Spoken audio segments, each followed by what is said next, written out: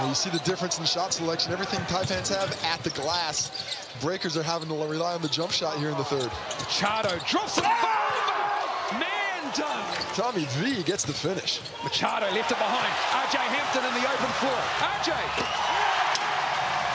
That's going to go on Instagram later. Breakers really fourth, threes really almost fours in the grindhouse. But here we see RJ Hampton on the break with the steal and the finish. Too easy for the young fellow. Breakers still with us, nine-point lead. Scotty out, going to work. Scotty Hopson, is that going to count? It does. Strong move, stronger finish. Quick first step on Jarek, just had him frozen.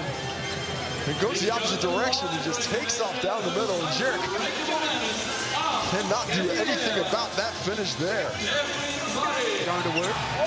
Puts the ball out. Wow, short. I think he was pretty lucky not to be called for a foul there. A lot of forehand. Oh, Deng!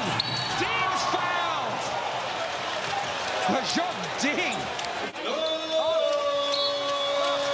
Sek Henry. Kenny just could not find the net. The floor is your friend. Oh, yeah. Oh, my. No, Corin Loy with the dunk over Sek Henry. And the stared out after stared out afterwards. What a finish. And Sek Henry made a business decision at that point. Need to run something with six on the shot clock. Up to the shot. Jared Weeks to the Tampa shot. Play the two-man game. DJ Newbill.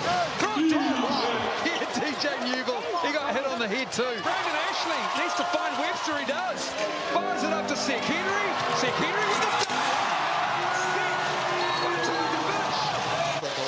down the middle. Machado drops it off to